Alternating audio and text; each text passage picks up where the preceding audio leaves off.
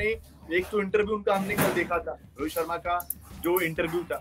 अब रोहित शर्मा का जो इंटरव्यू का दूसरा पार्ट आया है, वो भी उसमें जो सवाल उठाए गए हैं स्ट्राइक रेट को लेकर सवाल पूछा गया है, उससे आप कितना इतफाक रखते हैं? क्योंकि स्ट्राइक रेट को लेकर रोहित शर्मा से लगातार पूछा जा रहा था कि चलिए आपका स्ट्राइक रेट तो आखिर अच्छा हो गया है, पर रन क्यों नहीं बन पा रहे ज़्यादा? टी में दिक्कत थी। ऐसे में रोहित शर्मा ने इन तमाम सवालों के जवाब दिए हैं। वो जो सवाल है कि उन्होंने जवाब दिए दरअसल एक बार मैं पहले उनके आंसर बता दे रहा हूँ कि जैसे उनसे पूछा गया रन को लेकर भी तो रोहित शर्मा ने साफ़ तौर पे बोला कि देखिए पहले मैं क्या था मेरी बड़ी बड़ी पारियाँ आती थी लेकिन अगर आप मेरे करियर को देखेंगे तो वहाँ पर मेरा स्ट्राइक रेट रहता था तकरीबन नब्बे का लेकिन पिछले कुछ सालों में मेरा जो स्ट्राइक रेट है वो तकरीबन पहुँच गया 110 105 के आसपास का। तो अगर आप उम्मीद ये कर रहे हैं कि एक खिलाड़ी 110 15 के स्ट्राइक रेट से रन भी बनाए और फिर वो उसका एवरेज भी 50 60 का रहे तो ऐसा नहीं हो सकता। इम्पैक्ट रहेगा तो फिर आप बहुत ज़्यादा एवरेज की बात नहीं कर सकते। ये रोहित शर्मा का कहना है। तो क्या आप मानते हैं कि उनके स्टेटमेंट से आप सहमत हैं? हाँ बिल्कुल। मुझे ऐसा लगता है कि रोहित शर्मा जितने कॉन्फिडेंस के साथ खेल रहे हैं ना और जितने कॉन्फिडेंस के साथ वो बातें कर रहे हैं, इससे यही समझ में आता है कि ये सोची, समझी रणनीति के तहत जो है ना, वो रोहित ने अपने स्ट्राइक रेट पर और एवरेज पर जो है वो काम किया उनका साफ़ तौर पर यही कहना है कि मैंने बड़ी पारियाँ तो बहुत खेली है। मैंने 200 रन बनाए हैं और अगर औसत को उतना अच्छा नहीं रखना है तो आप चाहते यही हो कि आप तेज़ी से रन बनाओ और टीम की मदद करो। जो मैंने नहीं किया है वो मैं अब करना चाहता हूँ। ऐसा जो है वो रोहित शर्मा कह रहे हैं अगर आप उनकी बात को ध्यान से सुने तो। और मुझे लगता है कि बहुत जो है ना यहाँ पर जो बात है उनकी वो बिल्कुल सही है। तो देखते हैं क्या होता है लेकिन इसके अलावा अगर बात करें तो बहुत ज़्यादा जो है मुझे पर एक और चीज़ था देखिए एक और चीज़ था कि हमने टी ट्वेंटी वर्ल्ड कप में देखा था कि रोहित शर्मा कहीं ना कहीं जो उन्होंने बोला कि देखिए कोच की तरफ़ से हमारा था एक प्लानिंग के तहत हम कर रहे थे चीज़ें। लेकिन सर अगर मैं दो मिनट में आपके साथ जुड़ता हूँ। मुझे लगता है कि एक इम्पोर्टेंट कॉल आ रहा है कल क्योंकि हम दर्शकों को जो है वो श्रीलंका से लाइव कवरेज करेंगे तो उसकी तैयारियों में मैं थोड़ा व्यस्त हूँ। दो मिनट के बाद मैं एक बार फिर से आपके साथ जो है वो हाजिर होता हूँ। बिल्कुल मैं आप लोगों से जो लोग जुड़े हुए प्लीज़ आप लोगों से मैं राय जानने राय जानने की कोशिश करूँगा कि रोहित शर्मा ने बोल दिया कि चलिए ठीक है, मैं स्ट्राइक रेट पर काम कर रहा हूँ तो बड़े स्कोर आप नहीं देख सकते। इस वक्त ये कहीं ना कहीं उस, उनके बयान का एक मतलब था। लेकिन आप ये भी बताइए कि रोहित शर्मा क्या जब पहले बल्लेबाजी करते थे, रोहित शर्मा जब पहले रन बनाते थे तो क्या स्ट्राइक रेट का मसला रहता था? नहीं रहता था मसला। टी ट्वेंटी में हमने देखा कि T twenty World Cup Asia Cup जो आया टी ट्वेंटी का, उससे पहले रोहित शर्मा ने एक इंटरव्यू में इस तरीके की बातें कही थी। देखिए, हमारी प्लानिंग है, हम थोड़ी सी अलग तरीके से क्रिकेट खेलना शुरू करेंगे। शुरू किया, अलग तरीके का क्रिकेट था वो, लेकिन उस क्रिकेट में हमें वो रोहित शर्मा नहीं दिखे जो पहले दिखते थे। हाँ स्ट्राइक रेट अच्छा रहता था, पर ये दस रन, पंद्रह रन के लिए कौन सा स्ट्राइक रेट होता है? अगर आप बीस रन, पच्चीस रन बनाकर आउट हो रहे हैं और उसमें अगर आप कहते कि हमारा स्ट्राइक रेट चालीस का था तो शायद ऐसे स्ट्राइक रेट नहीं चाहिए आपको टीम को।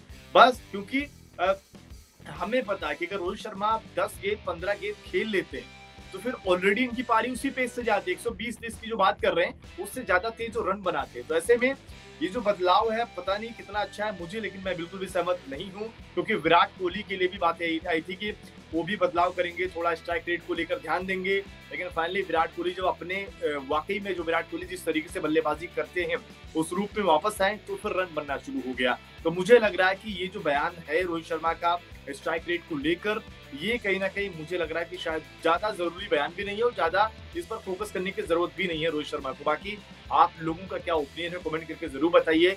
रोहित शर्मा ने अपने स्ट्राइक रेट को लेकर जो बात कही है और खासतौर पर अपनी बल्लेबाजी को लेकर जो बात कही है, उससे क्या आप सहमत हैं? तो प्लीज़ कमेंट बॉक्स में ज़रूर बताइए। बाकी एक बार सवाल लेने की कोशिश ज़रूर करेंगे, लेकिन सबसे पहले ये जान लेते हैं कि आखिरकार फिर से अंकल सर जुड़ गए हैं, उसी पर बात करेंगे जिस तरीके से रोहित शर्मा को लेकर। तो मैंने यही यही सर कि मैं बिल्कुल, अगर आप देखिए एशिया कप टी ट्वेंटी में भी कहीं ना कहीं एवरेज इनका गिरा था।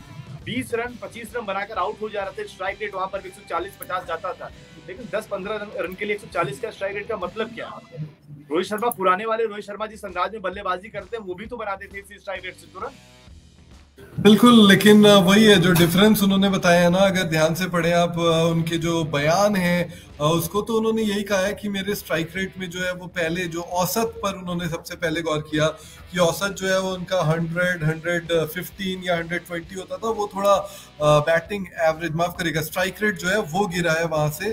उनका स्ट्राइक रेट जो है, वो सत्तर, अस्सी के आसपास गया है, लेकिन अगर आप देखो ना, मुझे लगता है कि उनकी बैटिंग चेंजेस की जो बात हो रही है, वो अमूमन टी ट्वेंटी फॉर्मेट में ऑफ़ लेट उन्होंने बल्लेबाजी की है।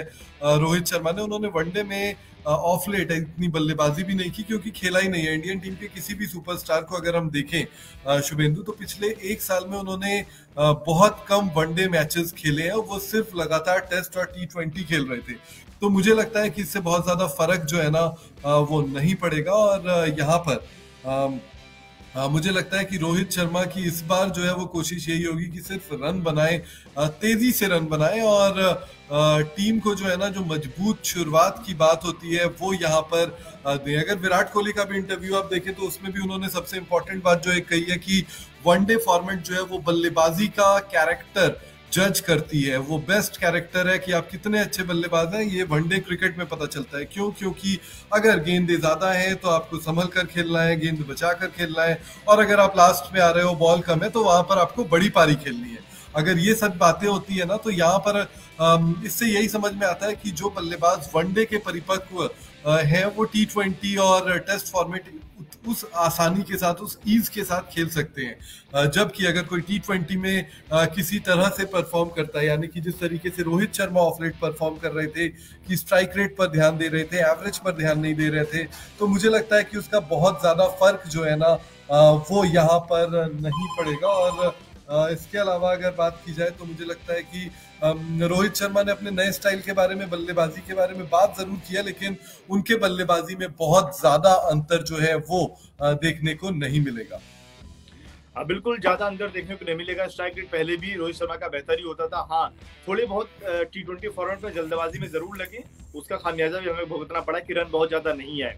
एशिया कप में एक पारी बड़ी ज़बरदस्त आई थी श्रीलंका के खिलाफ। उसमें पुराने वाले टेस्ट में रोहित शर्मा लगे थे। लेकिन देखते हैं कि इस बयान के बाद और नए रोहित शर्मा किस तरीके से एशिया कप में एशिया के एशिया कप में बल्लेबाजी करते हैं क्योंकि कहीं ना कहीं उन्होंने बोल तो दिया है कि वो चाहते हैं कि 2019 वाले रोहित शर्मा नज़र आए वो उस फ़ेज़ में जाना चाहते हैं तो ऐसे में देखते हैं किस तरीके की उनकी तैयारी है